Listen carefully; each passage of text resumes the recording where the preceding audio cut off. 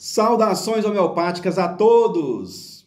É uma felicidade para mim estar tá continu... continuando aqui essa aula, tá? Essa aula de homeopatia. Fico muito feliz.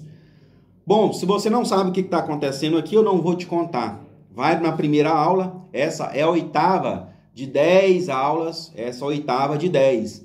Você tem que assistir a primeira aula, principalmente a primeira aula, depois volta aqui. O ideal seria assistir todas. Aula 1, 2, 3, 4, 5 e depois você vir para essa, tá?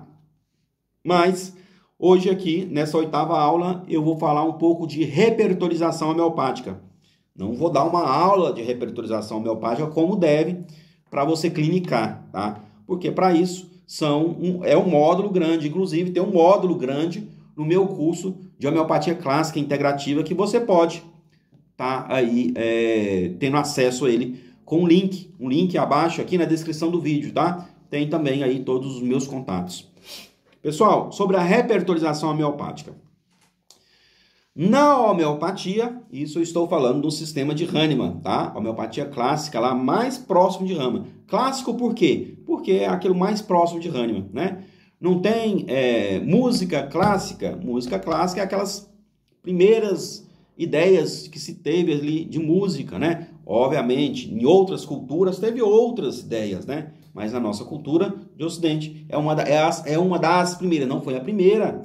A música sempre surgiu no, no ser humano, mas surgiu no ser humano a, a, aquela necessidade de fazer o, aquele barulho, aquela música. Mas a ideia clássica é, é essa, né? Rock clássico é aquele primeiro rock que surgiu, né?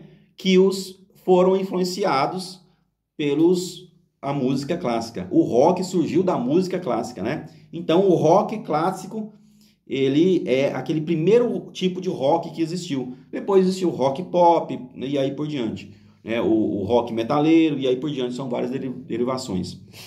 Então, o clássico é literatura clássica, aquelas primeiras literaturas que surgiram da, daquele tema ali. Né? Ah, vamos, vou dar um exemplo. Filosofia clássica é aquela primeira filosofia que existiu na Grécia Antiga. Né? Essa é filosofia clássica. E nós temos aí, trabalhando então aí com a ideia de clássico, né? Na homeopatia agora quanto à repertorização. Por que eu estou batendo muito nessa tecla? Porque esse estilo é o estilo que Samuel Hahnemann propôs.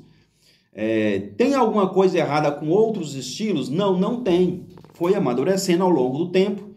Cada um foi tendo a sua interpretação, cada um foi tendo a sua ideia, vendo as melhores formas de repertorizar de fazer essa anamnese, né? É uma repertorização.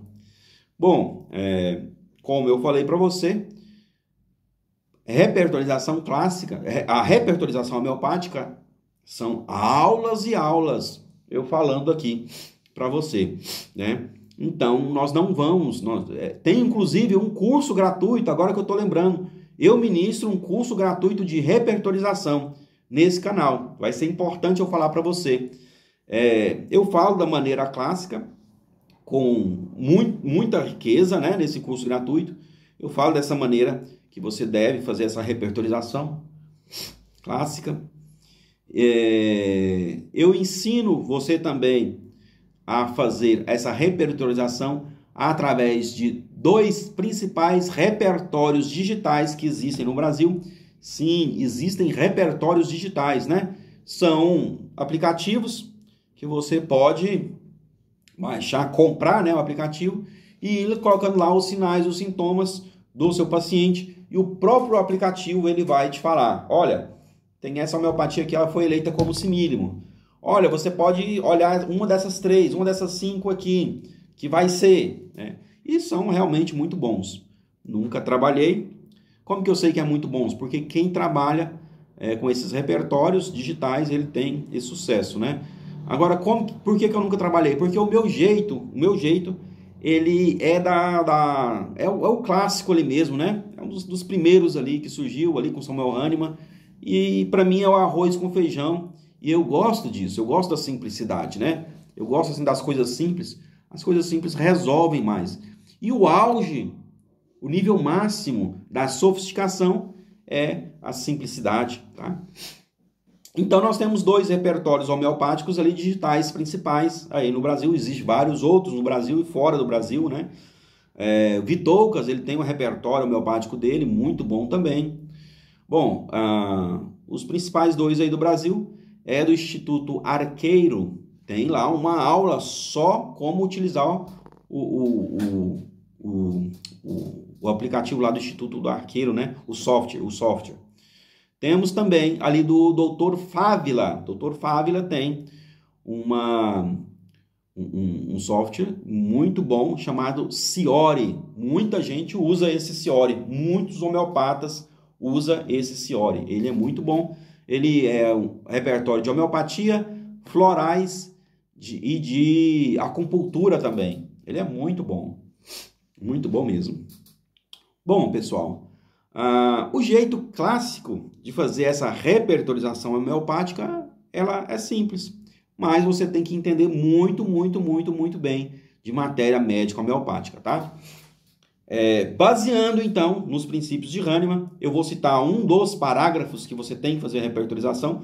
Um dos, existem vários parágrafos aí no Organon, a arte de curar, que é esse livro aqui. Esse aqui é uma das traduções que tem. Né? Aqui tem tudo sobre a homeopatia que Samuel Hahnemann deixou, tá?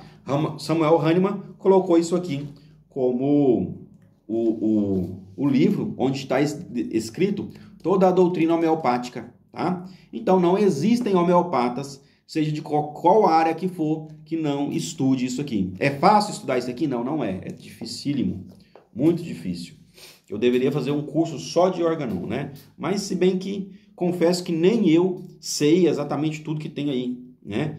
Já estudei, já li várias vezes, já participei de vários grupos de estudo. Nós reunimos toda quarta-feira, nós eh, estudava de duas horas, uma hora, duas horas, mas realmente é difícil, tá? É difícil interpretar. É, então, nesse livro aqui, nós temos um parágrafo, parágrafo 153. É um dos vários parágrafos que ele ensina você a repertorizar. Como que você vai repertorizar? É, você, a, a, intenção da repertorização é você procurar o mínimo, né?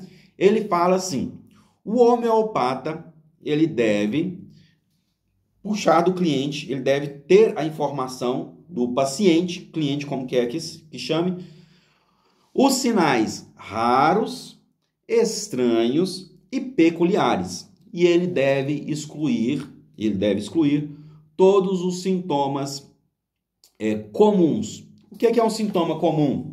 Sintoma comum, um exemplo, é a febre. Então, na homeopatia, a febre em si não quer dizer nada. Ah, doutor, estou com febre, o que, é que eu tomo? Não sei. Na homeopatia não tem, tá?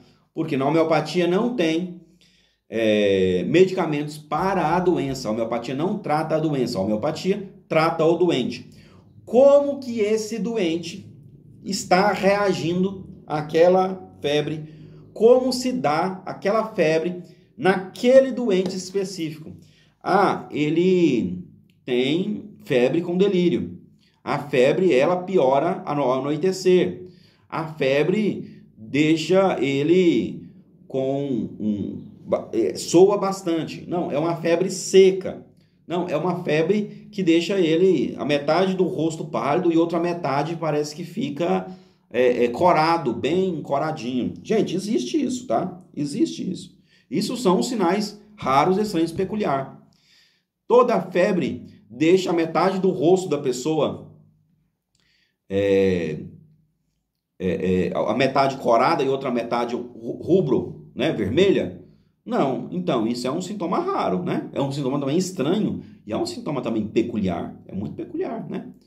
A pessoa que tem febre que dá delírio, isso é, é estranho, né? Não dá em toda pessoa, é peculiar ali, né? Dá em várias pessoas, chega um nível de febre que ela começa a ter alucinação, né? Mas é, é raro, não é toda pessoa que tem isso, tá? É, não é tão comum, né? É peculiar, é peculiar.